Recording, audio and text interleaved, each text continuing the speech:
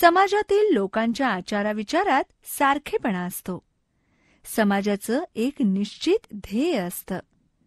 समाजाच्या स्थैर्य आणि विकासासाठी लोकांमध्ये ऐक्याची भावना असणं आवश्यक असतं. समाजाची आवश्यकता समाजात एकत्र राहिल्याने आपल्याला एकमेकांचा आधार मिळतो. अन्न वस्त्र निवारा शिक्षण आणि आरोग्य यांच्याशी संबंधित गरजा समाजामुळे पूर्ण होतात. या गरजा भागवण्यासाठी आपण निसर्गातील साधन संपत्तीचा वापर करतो. नैसर्गिक पर्यावरण आणि मानवी जीवन यांच्यातील अतूट नाट्याची जाणीवही याच समाजामुळे होते. प्रत्येक व्यक्तीमध्ये निसर्गातच काही गुण आणि क्षमता असतात. व्यक्तीमधील गुणांचा आणि क्षमतांचा विकास समाजामुळे होतो. कुटुंब शाळा आणि अन्य संस्थांमुळे व्यक्तीला आपला सर्वांगीण विकास साधण्याची संधी मिळते. लोकशाही धर्मनिरपेक्षता आणि स्त्री पुरुष समानता यासारख्या विचारांची ओळख समाजात होते. या विचारांची जोपासना करण्याचे प्रयत्न एकत्रितपणे परस्पर सहकार्याने करता येतात. समाजात सातत्याने बदल होत असतात. विज्ञान आणि तंत्रज्ञानातील प्रगतीचा आपल्या सामाजिक जीवनावर परिणाम होत असतो. आपल्या आचार विचारांच्या पद्धतीतही बदल होतो. अशा वेळेस चांगल्या विचारांचं आपण जतन केलं पाहिजे. विज्ञाननिष्ठा मानवी हक्कांची जोपासना समता पर्यावरणाचं संरक्षण या स्वरूपाचा नवा विचार स्वीकारला पाहिजे.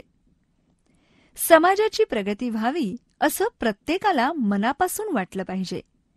यातून न्याय आणि समतेवर आधारलेल्या समाजाची आपल्याला निर्मिती करता येईल. सामाजिक संस्थांविषयी अधिक माहिती पाहूया. समाजात विविध स्वरूपाच्या संस्था असतात. समाजाला उपयुक्त ठरतील अशी महत्वाची कामं त्या पार पाडतात.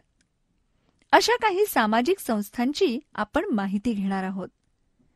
कुटुंब संस्था. कुटुंब ही मानवी जीवनातील पहिली सामाजिक संस्था आहे. आपली जडणघडण कुटुंबात होते. घरातील वातावरणाचा आपल्यावर परिणाम होत असतो. आई वडील भाऊ बहीण आजी आजोबा आणि इतर नातेवाईक यांच्या आचार विचारांचा आपल्यावर प्रभाव पडतो. कुटुंबातील छोट्या मोठ्या निर्णयांमध्ये प्रत्येकाला सहभागी होता येतं.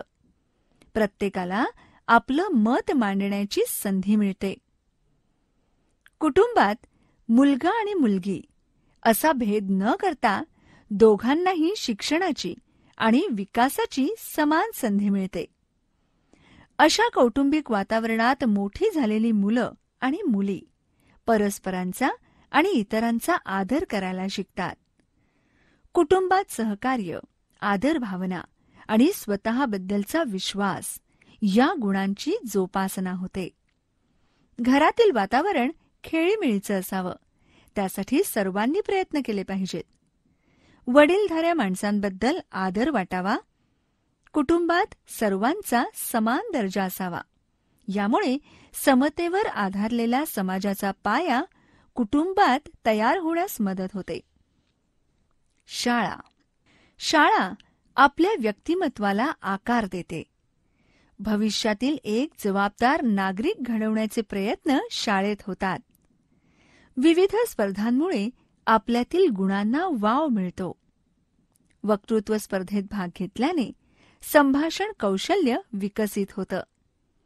खेळांच्या स्पर्धेत भाग घेतल्याने सांघिक वृत्तीची जोपासना होते. निरनिराळे छंद जोपासण्याची सवय शाळेतच होते. समृद्ध आणि आनंदी व्यक्तिमत्वाच्या निर्मितीत शाळेचा मोठा वाटा असतो. छोटी मोठी आव्हानं स्वीकारणं साहस दाखवणं जबाबदारीने एखादा उपक्रम पूर्ण करणं इत्यादी संधी शाळेत मिळतात.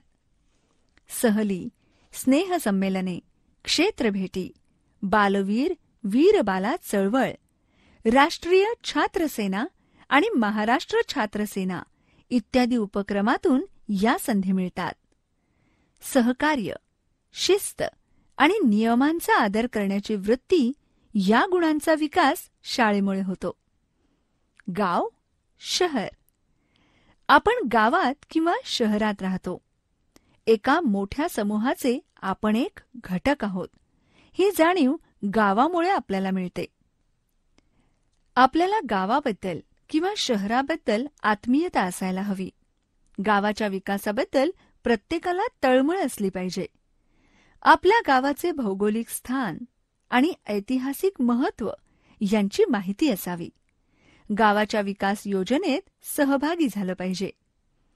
अशा लोकसहभागातून विकास करण्याची वृत्ती जोपासली जाते. गावाचा विकास आपण करू शकतो ही जाणीव प्रत्येक नागरिकात निर्माण झाली पाहिजे.